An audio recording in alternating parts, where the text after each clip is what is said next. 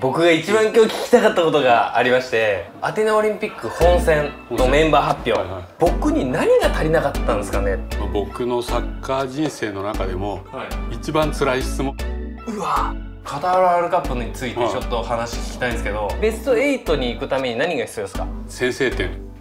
うん。セットプレー。この辺が鍵だかな。と思って2002年うん。8月にアンダー23の日本代表監督に就任。8月そうですね、はい、うん、きっかけは何だったんですか？7月にワールドカップ終わってそしたら強化部からちょっと出てこいって言われて監督まあどう？が来て、は西村君から小井さんから。ひ小井さんからはい。引き継ぐからいろんな情報は西村から聞いへてて通論で3位だったでしょ？はい。過去歴史上はい。最高順位すごいいい成績で、まあ、みんな自信持ってるだった、でまあ引き受けたから。その時に最初に思ったのは足りないことに気づかせた方がいいなと思ってうん。ジュビロ磐田が当時全盛だったから。あーそれでその試合になったんですか？忘れもしない7-0ぐらいでね。はい。何もできない。ゴンさんタカさんフォワードにいて中盤はもう奥さん太志屋さんハットさん。ボール取れないそしたらその翌日についた我々世代のあだ名が谷間の世代。当時ほらあの世界クラブ選手権に出るぐらいのはい。ジュビロがそういう時代だったんでトシヤとかに試合前の日とかに連絡して「明日は全力でやれよ」みたいな。手抜くんじゃねえぞ」つって相手のチームに言ってでどのくらいできるかっていうのを本気でやってくれっつって。まあ、みんなにメッセージとしてはやんなきゃいけないことがたくさんあるよってことを伝えたいための最初の試合だったんであの時よく正栗さんが言ってたのがアテネ経由ドイツ行きあってはいつも言ってくれてたじゃないですか。お前らドイツに行くんだからなってずっと言ってくれてましたもんね。正栗さん何言ってんのかなって思いながらも 思いながらも日本代表のリアルを知ってる人は正栗さんだったんですよね。だからそれにもう食らいついていくしかないみたいな。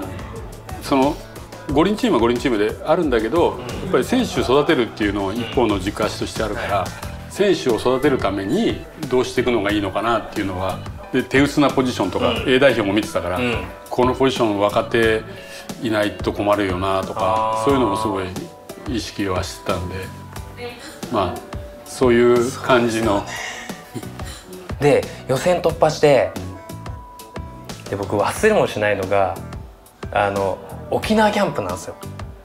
タカさんと曽我さん来て、うんであこの人たちだみたいな、なんとなく正栗さんの中でその時にメンバー決まってたんじゃないかなって思ってるんですけど、なんとなく固まってましたよね。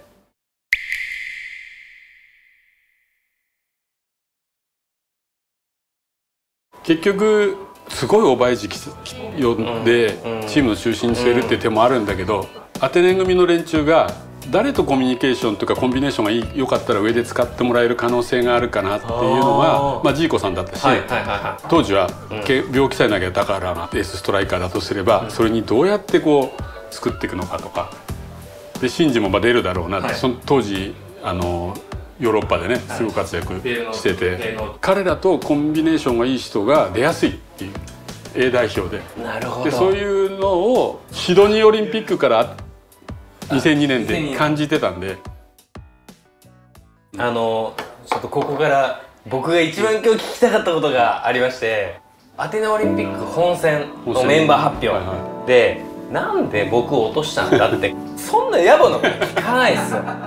これはなぜかというとえっとですね落ちるには理由があるからって僕思っていてこれも本当に僕全然強がりでも何でもなくて正邦さんにめちゃめちゃ感謝してるんですよ。なぜかというと僕その先のサッカー人生がその経験によって成長できたなって思ってるからなんですけどただあの理由が一応例えばあるとするならば僕に何が足りなかったんですかねって。この質問がねはい。あの僕のサッカー人生の中でもはい。一番辛い質問っていうかばい。そのぐらい、はい。あの責任のある、はい。あの選考だし、はい。でいろんな考えはもちろんさっき言ってきたことのことも含めてあるんだけど、まあ、18人、18人ですよね。うん。まあ、悩むよね。はい。ああ本当人間性とかリーダーシップとかあのー周りの選手たちのそのコミュニケーション能力とか、うん。うん観察する力とかもず抜けてますからね、うん。だから、まあ、そういう意味で言うと まあ本当あの日も名古屋で試合が最後あって、そうなんですよね。えそうですね。はい、名古屋で試合があって、はい。でコーチングスタッフだけ、はい。掛川のヤマハのリゾートがあってはいはい妻恋妻恋がそこをもう抑えてやって、はい。そこに夜集合することにしててでそこで、まあ、ミーティングはい。始めて、はい。まあ、正直最後の最後までどうするっていうはい。はい。感じのいうまあ最後俺が決めなきゃいけはないいんで、はい。うん。こうするっていううん。ことなんだけどね。いや僕ねこの話をあの聞きたかったとか聞きたくないとか、そういうことじゃなくてなくて結局自分に力がないだけの話なんですよ。これはえっと、誰が正しいとか正しくないかじゃなくて絶対的な選手になればそんなの関係なく選ばれるんだって僕は思ってて。でそこであ俺力足りないなって思ってそっからさらに頑張ろうって思ったその2年間3年間ぐらいがその時は反骨精神というかあれが間違いだったって言わせたいとか思いもありましたけどでも今振り返ってみると成長の機会を気づかしてもらえる瞬間が実は幸せで。できないことをできるようにすることが人生の喜びだと考えた時にプロになったからいいとか日本代表になったからいいんじゃなくてまだまだ高い壁が当然あるよっていうのを教えていただくっていうかそれもひっくるめて全部自分の栄養にするしかないじゃないですか。だからあれなんですその僕が今日一番伝えたかったのが僕の周りで山本昌君に絶対許さねえみたいな いるわけですよ。うちの家族は違いますよ。なんかこう応援してた人たちがいるんですけど逆に僕はそれが言われるのが恥ずかしかったんですよ。なぜなら僕がプレーしてるのに納得させられなかったとか上からの18人に選ばれなかった僕の力のせなさだったからって思っててなので言いたいのが違うんですと。ここで僕は成長させてもらったしその当時力がなかったけれどもその後日本代表入れたからって、僕強くんこれ言いたいんですよね。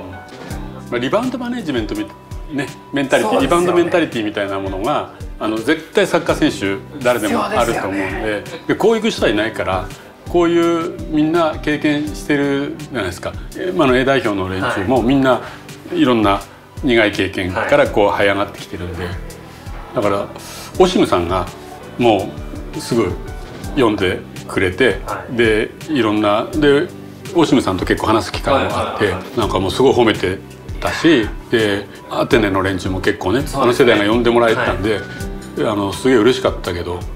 でもその後アテネ組の選手が2010年中止になっていったじゃないですか。これはやっぱり正邦さんは俺の力じゃないけど。嬉しかったですよね、いや嬉しい嬉しい。松井大輔いて阿部がいて。大久保嘉人。吉人がいて、トゥーリオもいたからね。いましたね。あともう一点僕が思ったのは僕も今その経営する立場にいて、うん。どっかでそのジャッジしなきゃいけないっていうかその意思決定しなきゃいけないって言った時にこっちもいいんだけどこっちもいいなっていうこう迷うじゃないですか多分見てる方たちもなんなんかでこう選ばなきゃいけない瞬間ってあると思っていてそれをどういった観点で選ぶのかとかどういうふうにして見ているのかとかあると思うんですよね。でよくあの今回お話を伺いたいって言った時に受けてくださったなって多分この話出るんじゃないかなって正邦さんの方でも 思われてたと思うんですけど。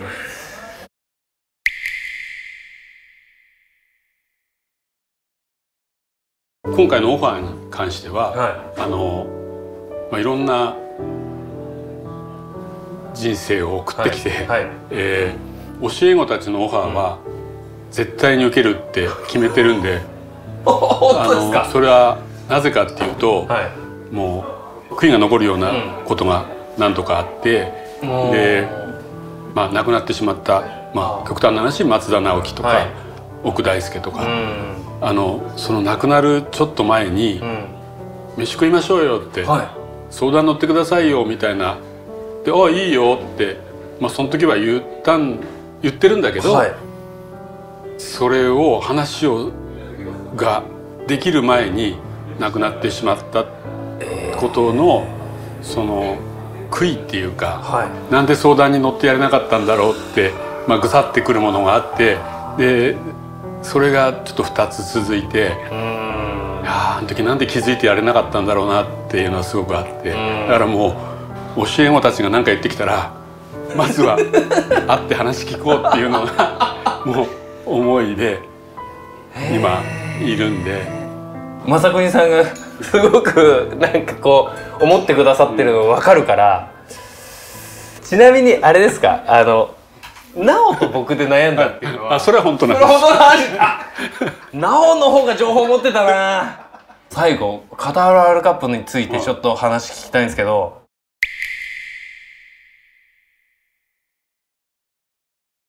先制点。うんセットプレーうん。この辺が鍵なかなと思って、まあ、前回もそうだけど、はい。セットプレーで先制、うん。まあ、PK だけど、うん。まあああいう入りっていうのはすごい重要で。であとは決勝トーナメントに行ったらもう全然ギアが違うから、うん。もう違う大会と考えた方がいいぐらいのそこのマネジメントをどうするかっていう、まあ、我々がベスト8とかベスト4に行こうと思ったら第3戦でターンオーバーするぐらい前回のベスト4は全部ねグループリーグの最後全チームその4チームは全部ターンオーバーしてる全員休んですか？そのくらいハードなのがワールドカップだと思って。すごく心身ともにダメージがくるんででもそんだけの層がはい考えてみればね僕らがその最初の頃に外国でやってる人いなくてで海外でプレーする人がこんだけ増えてきて今海外のチャンピオンズリーグでこんなにプレーしてるようなヨーロッパ選手権で鎌田君もはい長谷部君もみんな優勝してるよねっていうようなヨーロッパのチャンピオンを競うようなとこで何人もプレーしてる時代が来てステージがもうポンと上がってるんで選手の経験値とか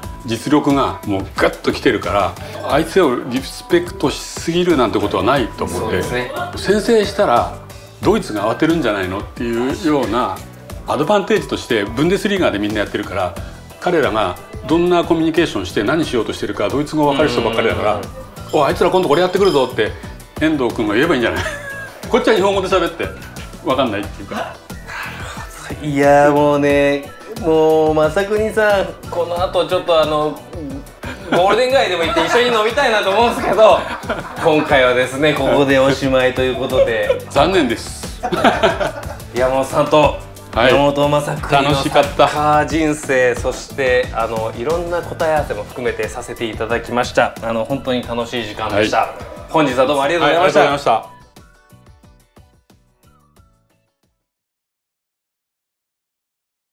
ありがとうございました。お疲れ様でおし疲れ様です。時間足りない。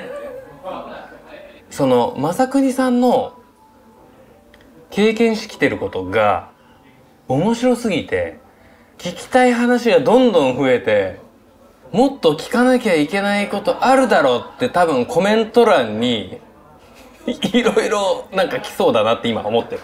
ようやく聞けたみたいな感じもあるんですか？いや実はね俺の中では別に答えなんてないと思ってるから。だってその時の